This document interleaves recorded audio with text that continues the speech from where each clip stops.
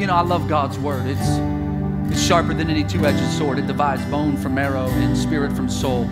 In other words, it shows us exactly the way we are to live this life and the difference between walking in the flesh and walking according to the Spirit.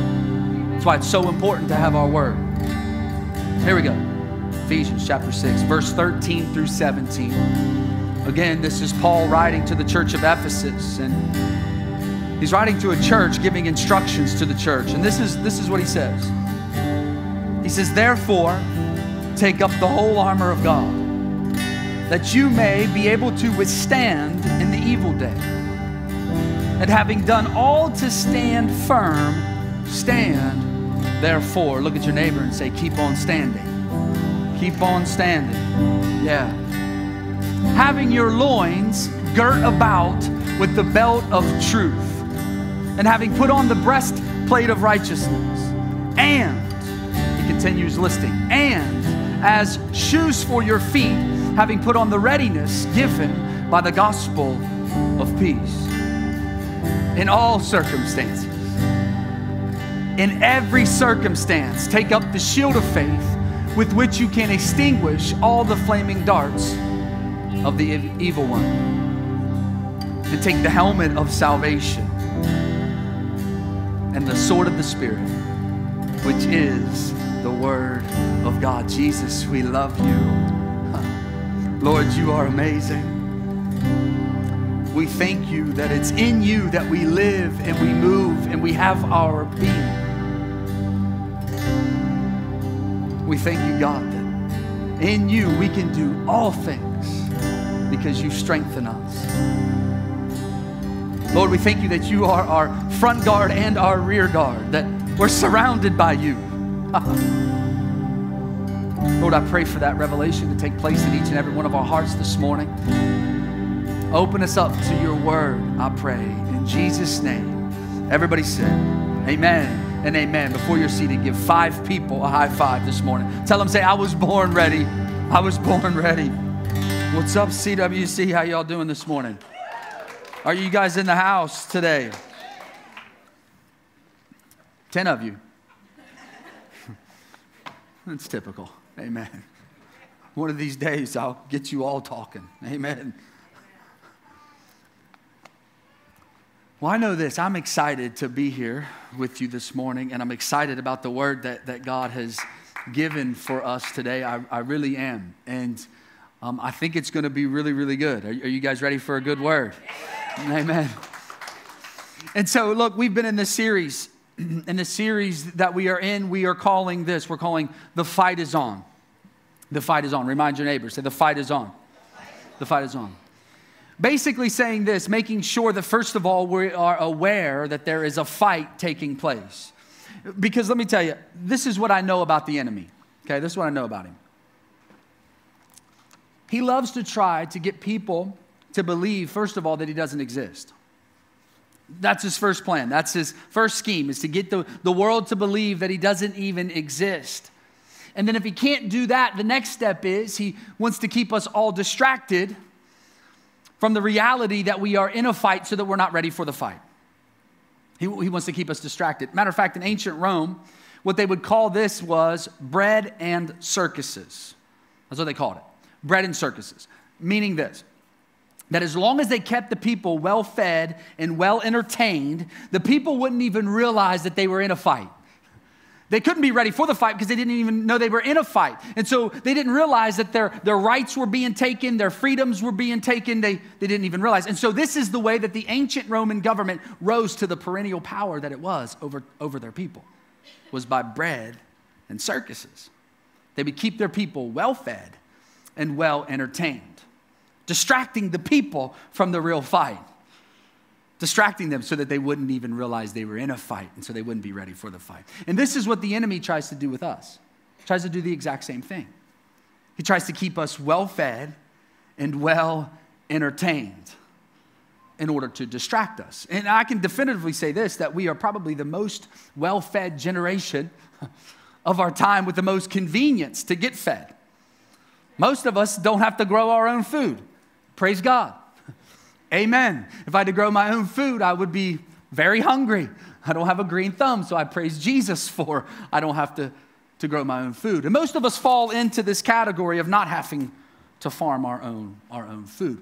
What's hilarious is that the time that we live in nowadays, we don't even have to go to the grocery store anymore to pick out our own food. Again, I'm not mad about it. I mean, now we can sit on our own couches, pick out our own food, watching our own favorite TV show online, right? And I love it, it's amazing. But we don't even have to do that any longer. So I can say that we are a well fed generation. And I can definitively say that we are the most entertained generation in the planet, or at very least up to this point in the history of our planet, at very, very least. We are entertained from the moment that we wake up until the moment that we, we go to bed. Matter of fact, we don't even have to get out, get out of bed to be entertained. It, it's at our fingertips. It's literally just a push of a button away. That's why my kid can't even sit in a movie any longer because it's just not long enough to entertain him. He's got to switch through all the different videos because we're, we're extremely well entertained. Again, I'm not upset about this. I love being entertained. I enjoy it very much. However, because this is the reality that we face, the enemy tries to use this against us. He tries to keep us well fed and well entertained in hopes to distract us from the fight that we are in, not knowing that this fight is on. And so, the season that we're in right now, and, and it's not only us, by the way, it's hilarious. The moment we launched into this series, there's multiple churches all over the place launching into the same series. And it's not like we're talking to each other, it's just what God is doing right now. Making sure that his people realize the fight that they are in, so that they're not caught off guard by the fight. And so, he is telling us about this fight. And not only is he trying to tell us about the fight and highlight the fight, but he also wants to teach us how to fight because you know what? He wants you to be successful in the fight. So, he wants to teach you how to fight so that, so that the enemy can't take your rights and the enemy can't take your freedoms. And so, number one, make sure you're aware of the fight. But then also, he wants to teach us how we fight. Because listen, what, what good would it be if we knew how if we knew we were in a fight but didn't know how to fight? And so that's what we're going to talk about today is, is how we how we fight this this fight. Because it wouldn't be any good to know you're in a fight if you didn't know how to fight.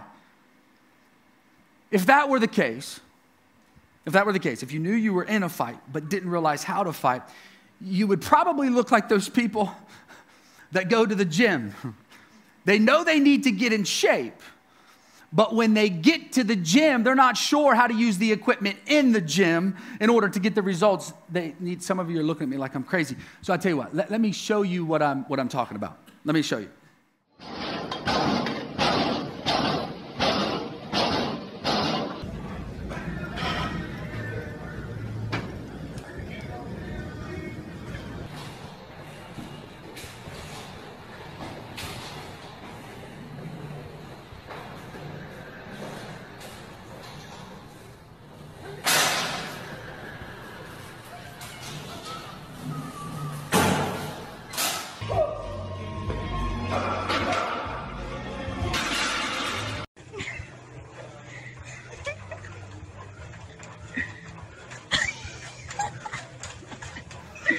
Now, look, I, I know none of you look like that when you go to the gym. I understand that. that that's for the 11:15 connection time people, okay? that's none of you.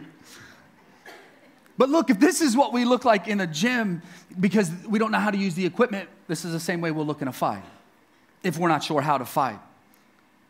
And man, I don't know about you guys, I don't want to be stuck in the fight not knowing knowing how to fight because this fight is it's on. And it's a rivalry for the ages. And so we need to know how to fight this fight so that we can get the results that we, we need to get. I don't want to look like those people. Standing in the fight, supposed to be using a sword, but instead I'm doing squats. You know what I mean? Like, I, I don't want to, I don't want to do that. I want to know how um, to fight this battle. And so that's what we're going to talk about today with a message titled this Invisibly Ready. Invisibly Ready. Tell your neighbor, say, I was born ready. Tell my yeah, you got to say it with like a little bit of gangster in you. You know what I mean? Like just a little bit of swag. Like I was born ready, Jack. I was born ready. Because remember last week, you got to remember what we talked about last week too, in reference to this. See, Paul says this we don't fight against flesh and blood. but against rulers, against authorities, against the cosmic powers over this present darkness, against the spiritual forces in the heavenly places. In other words, we fight against what we cannot see. We fight against what we cannot see. So, so we better know how to, to fight with weapons we cannot see. Matter of fact, Paul says this in Second Corinthians. He says, For though we walk in the flesh, we do not wage war according to the flesh. Because the weapons of our warfare, they, not, they are not of the flesh, but they are mighty to the destroying of strongholds. Amen. Even though we are walking every single day, fighting things that we can see every day, the battle lines aren't drawn there because this fight that we are fighting is against things we, we cannot see. It's against what we can't see. And so, because this fight is against what we cannot see, we need weapons that we cannot see to keep us invisibly ready. These weapons that we, we can't see, guys, are, are weapons that God gives his people, that God gives us. And they are mighty to destroy every stronghold, every single one every addiction. Come on. Every lie.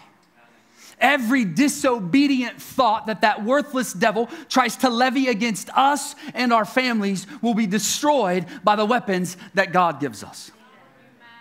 That should get you excited because that means that we're going to be victorious in this fight. We're in a fight that we, we can't see. But the cool thing is that these weapons that destroy every stronghold, you know, you know the reason why it does? Because greater is he that is in me than he that is in this world.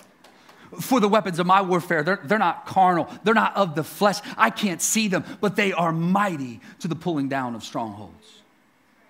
However, the fact remains that we can't see the one we're fighting most of the time. And so we need to stay invisibly ready. And this is what Paul outlines for us, matter of fact, in Ephesians chapter 6, verse 13 through 17. How to stay invis- invisibly ready. Telling us to put on the full armor of God. You can't see this armor, you can't see it.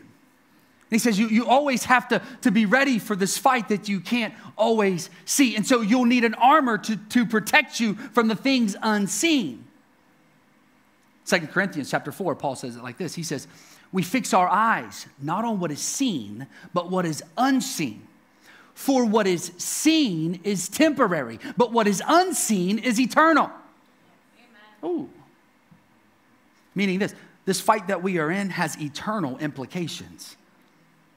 See, everything that we fight for every day, day in and day out, those things we fight for, you know what I'm saying? The, the, house, the cars, the businesses, the brands that we're trying to grow, all of those things are temporary things. They are here one moment, but gone the next. They're, they're but a vapor. Now, am I saying that those things are all sinful and they're all wrong? No, that's not what I'm saying. But what I am saying is exactly what Paul says these things are always temporary. You can't take them with you. But this fight that we are in is, is eternal.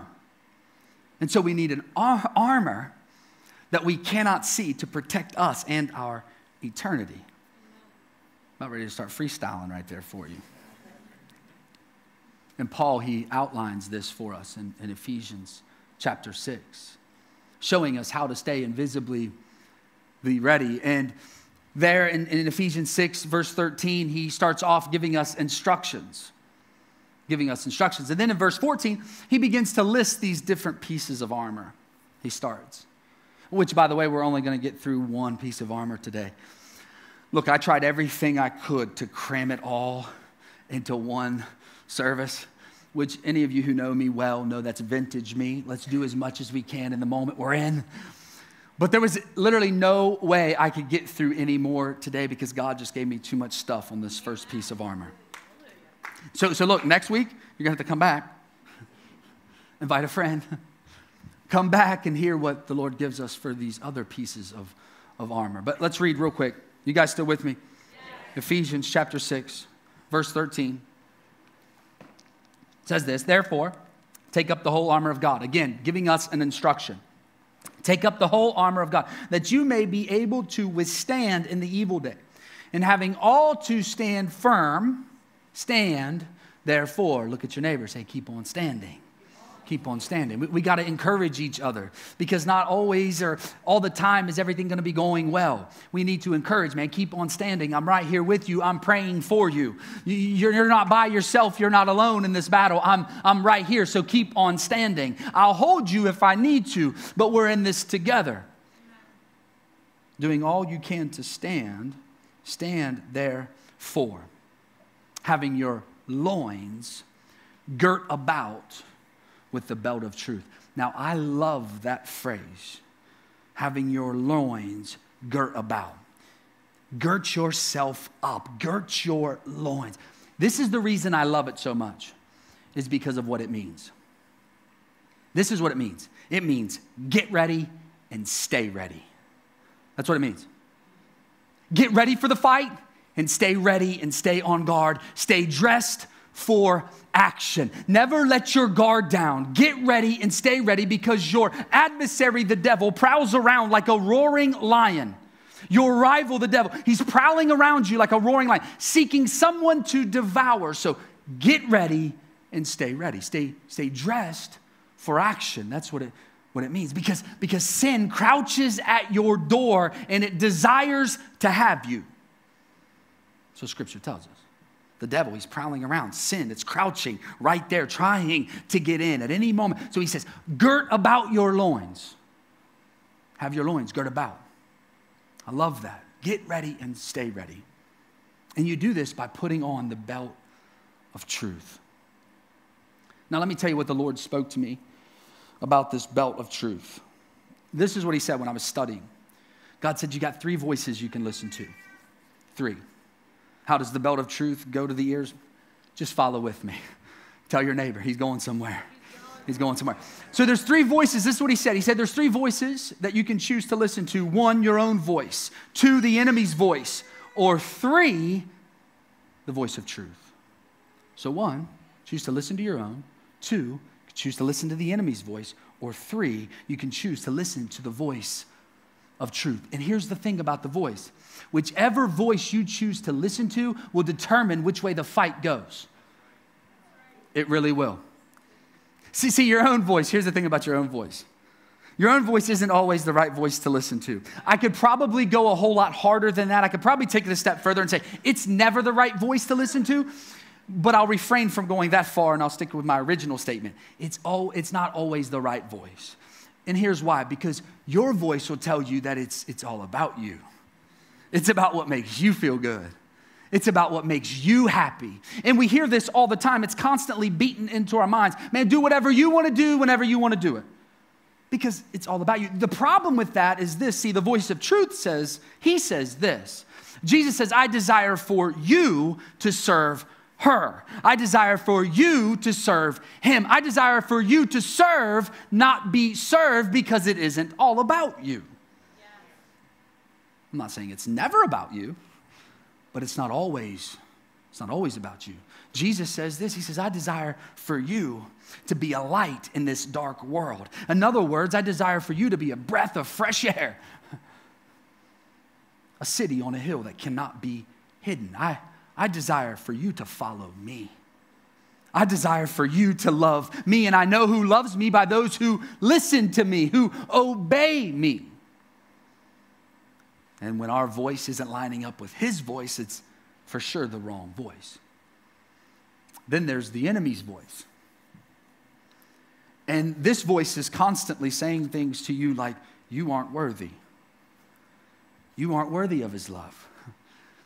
You, haven't done enough good in your life to be loved. You've done way too many wrong things in your life for, for God to love you. But see, the voice of truth says something completely different. It says something completely different than that. But this, this voice will constantly speak over you lie after lie. You know, it was funny, I was talking to someone the other day about this. I was talking to them about the, the voice of the enemy. And a question that I proposed to him was this I said, well, what if what the enemy is speaking to you is your reality? What if that happens? I think it's a very important question that, that, that requires a very important answer. Because I know this for a fact that there's been times in my life that what the enemy was speaking was exactly how I was living. I think if we were honest with ourselves, we've all been through this. It's so true that the very thing the enemy was speaking is exactly how we are living our lives. What, what, do, we, what do we do then? What do we do when the voice of the enemy is telling you you are an addict and that is the season that you're, that's the reality of your life? You're addicted to drugs or alcohol or pornography, whatever the addiction may be, you find yourself living in that day in and day out. So the voice is speaking your reality. What do, what, what do we do? What do we do when he's telling us that, that we do everything wrong? And, and that's the exact season we find ourselves in. We've been wrong as a parent. We've, we've screwed up our marriage. So we're not, we haven't done good being a husband or a wife. What if that's the reality of our life and he's speaking exactly what we are are living. What if he comes to you and tells you, you you have a sickness, you have a disease, and the reality is that's exactly where you're at in your life, and you've had it for a long time and you've been dealing with it. So, what he's speaking over you is exactly what you are in the midst of living in. What do we do when what the enemy is speaking is exactly how we're living? There's a story in Genesis chapter 37. The story is about a man named Joseph. Now, when Joseph was a young man, the voice of truth came to him in two dreams. And it told him this it said, You will rule and reign over the people. I've got these great plans for you, Joseph. But, but you see, you have to understand this. So, so Joseph is the youngest of 12 brothers. So, in other words, he has 11 older brothers than him. And when he goes and shares this voice of truth with them, they become very angry. And so they decide they want to kill him over this dream. My goodness. Good old fashioned sibling rivalry. Amen. You thought your kids didn't get along. My God. They decide they want to they want to kill him over, over this voice of truth, which, by the way, a sidebar for you. Listen to me. Whenever God speaks truth over your life, the enemy will always send something or someone to try and kill, steal, and destroy.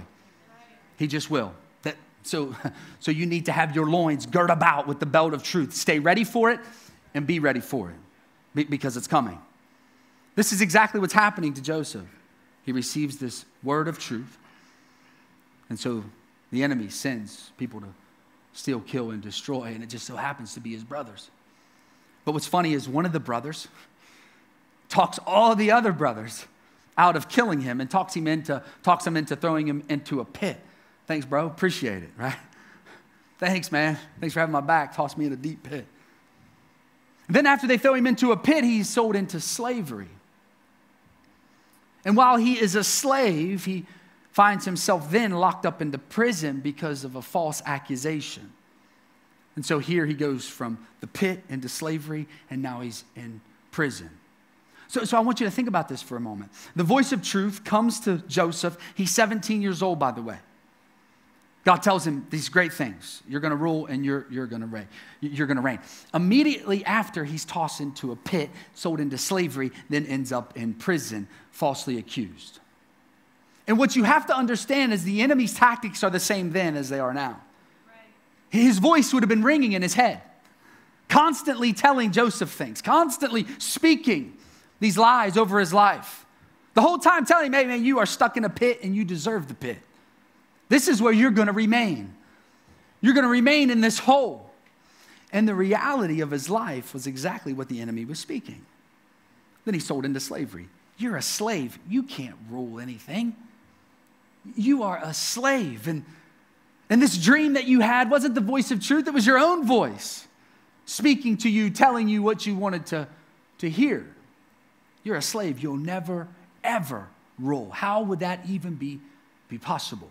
What he is speaking is what Joseph is living.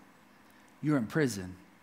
You're locked up. You're in shackles. You're in chains, and you deserve exactly what you're getting. Speaking his reality. It is his re- reality. So, what do we do when our reality isn't lining up with the truth? What do we do when the enemy is saying exactly what we, what we are living? Well, Paul tells us he says, have your loins girt about with, with truth. Know the voice of truth. See, Jesus says, I am the way and the truth. In other words, when he speaks, it's always truth.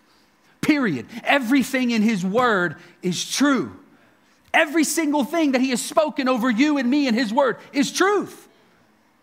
It's complete truth. And the enemy cannot speak truth, it's not in Him. John chapter 8, verse 44. This is what Jesus says He says, He was a murderer from the beginning because the truth is not in Him. And when he lies, he speaks his native tongue because he is a liar and the father of all lies. That's all he can do is lie to you. That's it. And so when the enemy is speaking, he is lying. And, and, so that means this that if he is speaking our reality, then what we've done is, is we found ourselves living in a lie. Our reality's a lie. Not the thing God spoke, but our reality. We have found ourselves living in the lie that Satan is speaking.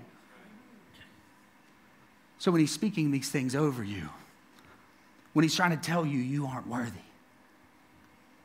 you got to know the voice of truth.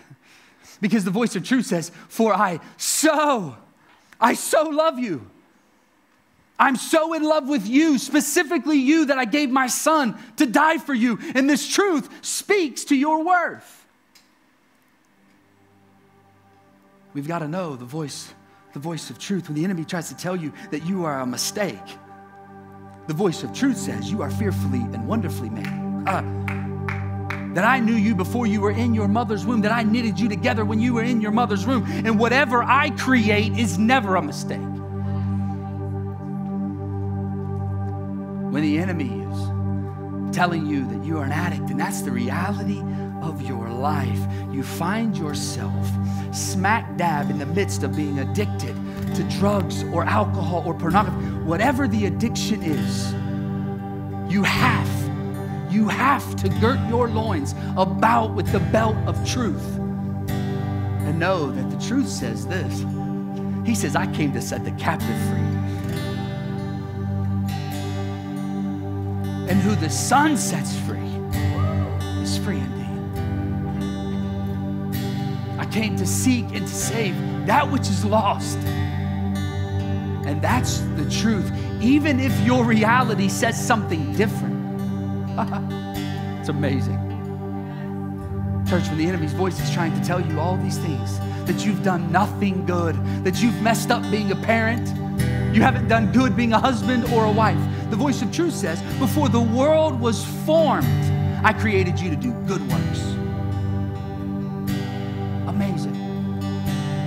But the enemy will try to tell you all these things. Try to tell you that you deserve the sickness that you have, the disease that you have. You deserve it and you've been battling it for years and years. But see, the voice of truth says something different. He says, By my stripes you are healed. That, that you walk in the divine healing that, that I've already purchased for you on your behalf on the cross of Calvary. This is the truth, even though the reality says something different The voice of the enemy will constantly say all these types of things over you in hopes to drown out the voice of truth. But, but let me let you in on a little secret. Let you something. When you have your loins girt about with the belt of truth, his truth is always more powerful than your reality. It's just the way it is. His truth is always more powerful. You see, Joseph's reality was exactly what the enemy was speaking. Exactly what he was speaking. He was in a pit. he was a slave. He, he was in prison. It was his reality. But see, then at the age of 30, because you got to remember, at the age of 17, God spoke the truth over him. So from 17 to 30, for 13 years, his reality didn't line up with the truth. Didn't line up with it. But see, because God's truth is more powerful than any of our realities that we are in. At the age of 30, God's truth became his truth. And Joseph went from the pit to prison straight into the palace. And for 80 years, he ruled and he reigned over God's people. Amazing. For 80 years, just like the voice of truth told him. I need you to get it this morning. God's truth is always more powerful than your reality. And I don't care where you are in your life right now. In my life, there's been multiple times when the enemy has come to me and spoken my reality. At one point in time in my life, I was addicted to drugs. And the enemy would come to me and say, You're, you're addicted to these things, and you're a drug addict because your family tree is riddled with addicts, alcoholics, and drug addicts. It's riddled for that. And, and because of that, the enemy would constantly remind me that I would follow in their footsteps, that I would be a drug addict and I would die one. Because after all, I came from a long line of drug addicts and people who were addicted and didn't live for Jesus. That was the reality of my life. And the enemy would constantly tell me that this line, this family line of addicts would continue with me and it would go through me. That my children's children would be the same exact way I was. They would all be addicted as well. And this was the reality that I was living in. I was, I was an addict. What the enemy was speaking was exactly what I was living. But, but see, Jesus spoke a different truth over me. Matter of fact, he speaks it over every one of us. It is a promise to his people. He says this I have good plans for your life plans to prosper you, not to harm you, to give you a hope and a future. See, God told me this when I was a young, young kid. He said, One day you'll, you'll pastor. I was like 11 years old. Immediately after that, my whole life spiraled out of control. Immediately after the voice of truth came and told me this great plans he had that my family I would have would, would live for Jesus and that they would love Jesus. This truth that he had spoken over me, the enemy tried to come immediately and destroy it. And for the next several years, I found myself in a reality of living in an addictive lifestyle. And I remember those times. I remember the times when the enemy would speak exactly what I was living. I remember them. But Let me tell you something. Those old realities have now become my brand new testimonies. Because, because God's truth is always more powerful than your reality. Jesus made my truth and my reality line up with His Word. He made it happen. And because of that, am a pastor. I'm spirit filled, man of the Most High God. Got a beautiful wife who loves Jesus and me. Come on, somebody. Trying to get brownie points for late. Amen. I've got two awesome kids. And you know what? My kids are pastors' kids. They're not addicts' kids. They have nothing to do with that life. They don't even know what that life is because of what Jesus has done. Because Jesus calls my reality to line up with His truth. His truth is always more powerful than the reality we are living, guys. Go ahead, stand your